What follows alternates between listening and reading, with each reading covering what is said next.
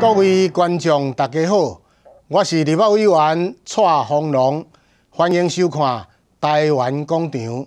大学的学习会冻结起价真侪年，教育部长吴淑华一上台就表示要予大学的学费来起价，真侪间大学拢表示赞成。这个话一个讲出来，真侪家长啊叫苦连天，家庭的支出愈来愈重，现在连学费都拢要起价，这根本是政府啊变相在剥夺学生的受教权。六年来，台湾有百分之八十的家庭收支是负成长，会当讲是入不敷出。而物价的高涨，更较是苦不堪言。有七成的大学生需要办理学贷，一个毕业就承受了学贷的债务。做头路，搁干会当领二十二甲二十五 K 的加薪水。真侪学生拢已经陷入用青春在行孝的困境，加上日日高涨的生活。甲宿舍费用，真侪学生囡仔一毕业，都要面临人生第一个一百万的负债。如果阁若有学生囡仔为着帮忙家庭的经济环境，去当做工趁钱，伊可能会无法度兼顾伊的学业。第四，真正去做工的薪资付了学费。所存的嘛无偌济，但是佫未当有认真去学着啥物学问，这实在是浪费时间。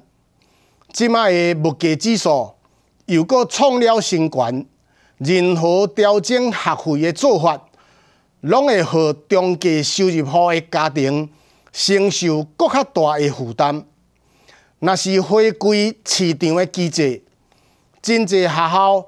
面临到招生不足的问题，伫个顶个月，甚至阁有一间学校去互人合并，即拢会当显示高教育市场应该是用过于求的状况，啊若无，要哪会当出现要调整起学费咧？